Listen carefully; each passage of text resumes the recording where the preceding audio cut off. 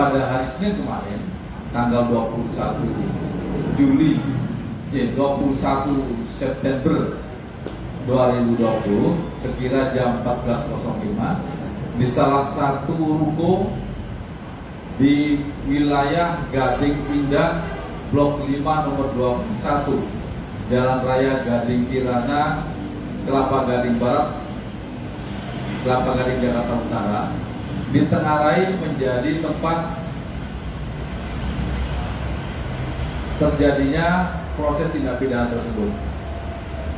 Kita sebut eh, tempat usaha apa seperti pati pijat, ya, namanya TMSS. Kemudian pada saat dilakukan upaya penegakan hukum, kita mengamankan di lokasi tersebut ada sekitar 21 orang di mana setelah dilakukan pemeriksaan dan dilihat eh, kapasitasnya berada di tempat tersebut 9 orang di antaranya merupakan pelaku ataupun terapis di tempat usaha tersebut. Eh, kegiatan usaha tersebut di masa pandemi COVID-19 ini.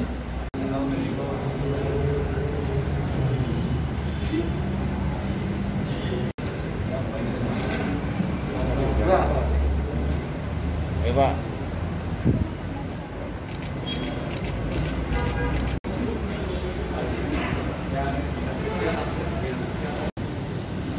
Kemudian si profesor ini rupanya telah memiliki beberapa nomor